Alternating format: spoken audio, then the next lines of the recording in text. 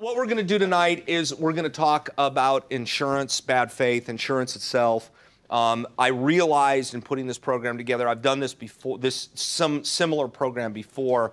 I've realized that this is truly like a six to eight hour seminar. It could be because it's such a deep subject. I have done probably probably as many um, insurance bad faith property cases, bad faith trials, um, than anybody in California at this point, or as many as at least anybody. Um, and I've tried other types of bad faith cases too. But I like bad faith. I like insurance. I know that makes me a little bit of a geek, but it's really interesting subject. I think it's interesting. I think it's nuanced. I also think that my good friend Jeff Ellis is sitting here tonight, um, making me a little uncomfortable because he's one of the finest coverage lawyers I know, and it is um, it is a manageable subject. But to most lawyers who don't do this on a regular basis, it's sort of like Martian. It's very foreign in a lot of respects, and I don't think it is that difficult to master. So, of course, first we have contract damages, and that's kind of basic. And in, in order to uh, prove that, you need uh, breach and um, you need damages, of course, which are the contract remedies. That and it, let me make this drill this home to you, though.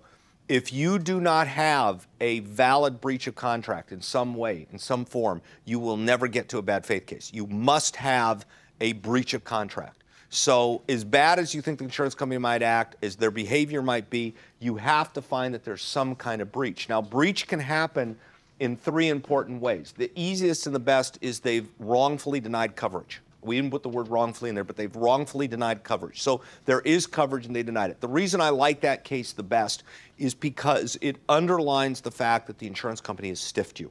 The, the insured is sitting there having a claim that's unpaid. They haven't had been compensated, so they've been stiff. The second one is they pay something, but they don't pay all of it. So now you're fighting over really what's owed, how much is owed. They think they paid enough. You don't think you've paid enough. Not a bad case. The most difficult case you're going to find is a case where the insured's paid. They've paid. Maybe there's a delay. You're arguing over delay, but they paid the claim. And those are the cases that I would red flag because if you come, if the case like that comes in and says, I've got a problem, we're going to talk about this under with underinsured and uninsured motorists a little bit later. But if an insured comes in with that situation and they say that they've been fully paid, you need to think long and hard about whether or not you want that case because now you're trying to argue about additional damages, what happened to the person as a result of that.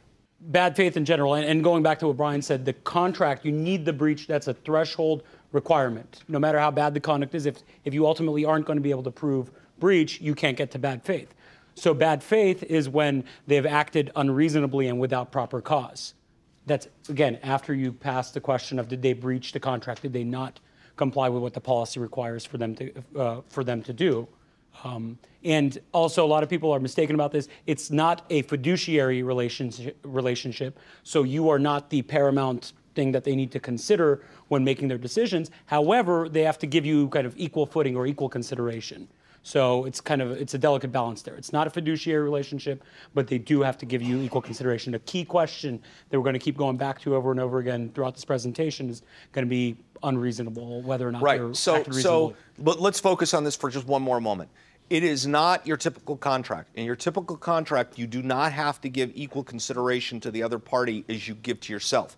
In an insurance situation, you do. And one thing I, I use an opening statement in a jury uh, with juries is I explain that the uniqueness of an insurance relationship is unlike any other contract because unlike any other contract, you can't replace the contract once an event has occurred. So the house is burned down. You can't go out and find insurance to insure you after your house is burned down. So the insurance company has to put themselves on the same level with you. They can't put their interests ahead of yours. A lot of people think it's a fiduciary relationship. It's not. But ultimately, you can go to the next slide, it's okay. But ultimately, it's whether or not the question for bad faith is whether or not the insurance company acted reasonably. It's not negligence. It's not it's not fraud standard, but it's not negligence. So merely getting it wrong isn't enough. It has to be whether or not the insurance company acted unreasonable. So a threshold question I think Brian um, has instilled in me to look at before we you know take on a case or not is is the plaintiff likable? Like all the other threshold questions about what, is there a breach, equally important is is the plaintiff likable? Is the jury going to hate your plaintiff? Because ultimately, at the end of the day, what you're pursuing is not a claim against the party that caused the harm or did the wrong. You're pursuing an insurance company, especially in a third party case. You're going after the other side's insurance company. You're not going after the person that crashed into you or the person that caused whatever injury your client is suffering from. So you have to make sure that your client is likable enough where they're not going to look at it and go, well, he's a jerk and, and it's not like they're suing the person that hurt him. They're just suing this this company, this kind of faceless entity. So you got to uh, make sure that that's the first question you look at. This is popping the lid off a policy, which is something that a lot of plaintiff lawyers, particularly personal injury plaintiff lawyers, are constantly talking about. And one of the seminars we want to give in the future would be much more in depth about this. It would be sort of the topic is how do you turn a um, huge damage but small policy limits case into a, a valuable case.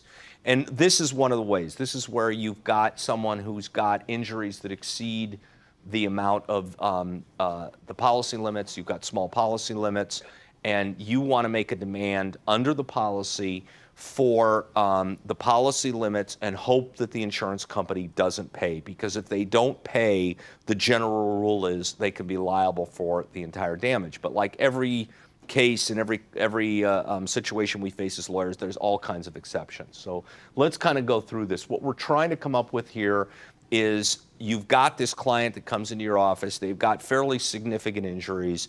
The client in, was hit by someone who has a 15,000 or $25,000 policy, and um, you know in your mind that the, the, case is worth at least that, if not much more.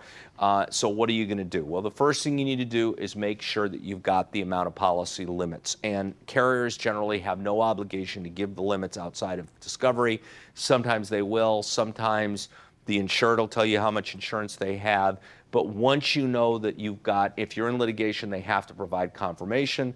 Once you know what the policy limits are, or you have to have a reasonable belief in what they are because you could be sued by your client if you make a $15,000 demand and the client had a hundred and the uh, the other driver had a $100,000 policy for example